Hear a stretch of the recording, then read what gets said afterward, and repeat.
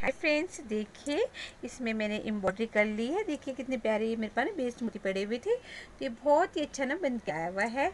तो देखिए, कितने प्यारे और मिरर भी लगा दिए हैं मैंने इसमें। और ये निकलेंगे नहीं क्योंकि मैंने ग्लू का इस्तेमाल किया हुआ है। तो चाहो तो आप ना इसे मतलब आप इस मतलब सॉरी राइट इस इधर वाले पास में अगर आपने बटन पट्टी नेक में भी लगाना तो इस तरह की जाली का इस्तेमाल किया, बाकी प्लान रखें।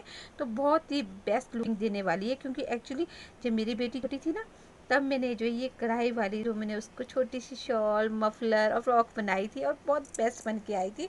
तो देखिए, कोटी भी बहुत अच्छी बन के आएगी। तो सर्दियों की धूप में आपने क्या करना है, ये आपने मशीन में पहले बना देना, फिर बैठ के आराम से कढ़ाई करनी चाय पीनी है। Okay bye bye